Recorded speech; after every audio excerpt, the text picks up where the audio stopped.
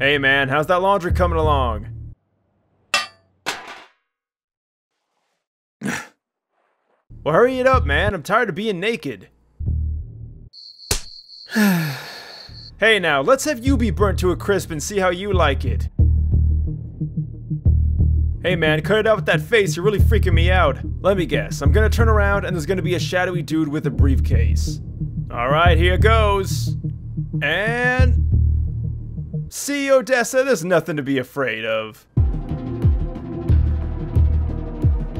Hey guys, how's it going? Welcome back to another mini-mod showcase. Sorry for no video yesterday, I honestly just needed a break. And it feels good to be able to just tell myself, hey, that's okay. I don't need to do videos every day, but that is the goal, and that's what I'm gonna still keep striving towards. So don't worry about everyday videos, we're gonna keep at it. So what is today's video about? Well, if you guys remember the video we did on, well, Construct, where it was pretty much, well, cursed or something's wrong with it. God, I hate that phrase. If I ever use cursed in any of my titles, guys, please unsubscribe from my channel. But anyway, this is pretty much a modified version of Big City. Now, at first, I thought I did a video on this already. What was that? Swore I just heard something. So I thought I did a video on this already, but turns out... God, I, I think I'm seeing things. Turns out that I ended up not doing it because I couldn't find, well, enough events to justify the video. This may or may not be a mini-mod showcase, I'm going to assume it is.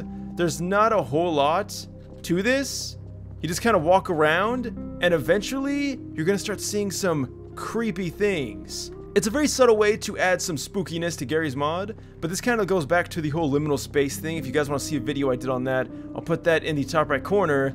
This is going to kind of amp...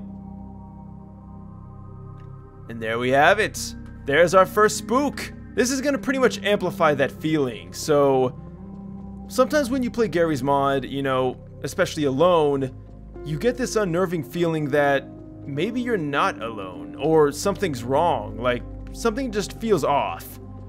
And this is going to be even worse because, well, surprise, surprise, you're not alone. There is other figures on this map, and they may be right behind you when you least expect it. It's kind of funny because, like, I notice a bit more jitteriness on this map compared to the regular version, but, uh, it's hard to tell if that's because of the changes. So normally on this map, which is kind of funny like walking around this because I don't think I've ever really walked around Big City like this. In fact, I might not have ever stepped foot in this area. It's kind of funny because I do feel like I would actually miss a lot of the spooky stuff, but uh, that's why I got my glasses on today because I want to be able to see anything creepy that we come across. By the way, if you guys didn't know, normally the only creepy thing in Big City is this, Cafe Baltic. If you try going into it, that happens. It's an absolute classic. Oh, right there. Oh my god, we just got a glimpse of him. So I've been walking around for a solid, uh, I want to say maybe like 5-6 minutes. And that's the first thing I've noticed. So it really is hard to like see him sometimes because he'll be kind of like inching out of a corner. But when you do see him, it, it almost makes your blood run cold. There's just something really uncomfortable about it, about just seeing some figure spying on you. Oh, there we go. Wow. That is creepy, man. I think I know why I didn't want to do a video on this originally. This is one of those mods that is not good to do a video on because the events happen automatically. So guys, I do implore you to download this yourself, give it a shot, maybe just play on it whenever you want to play on regular Big City. And then you're gonna notice, you know, the occasional spook every now and then kind of adds a bit of tension to the otherwise mundane gameplay of Garry's Mod. It's funny because I thought this would be an easy video, but it turns out to actually be kind of a hard video because I want to show off more of the creepy stuff, but I can't get it to spawn without just rummaging around through the map. Oh, there we go! Wow, okay, so we got him just through the alley. That, honestly, is where you're gonna find him the most. It's through these small nooks and crannies in between the buildings. But you do have to make sure that you're quick because the second you look at him, it kind of like starts a timer and then he just disappears. Oh, I think we just got a glimpse.